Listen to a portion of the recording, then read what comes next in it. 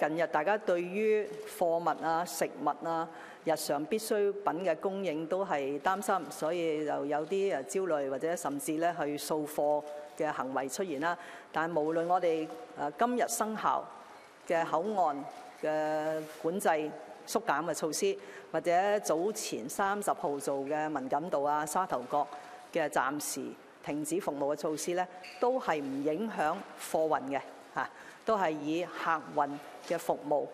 為嗰個管控嗰個基礎，係不影響貨運。咁所以大家市民咧係可以放心，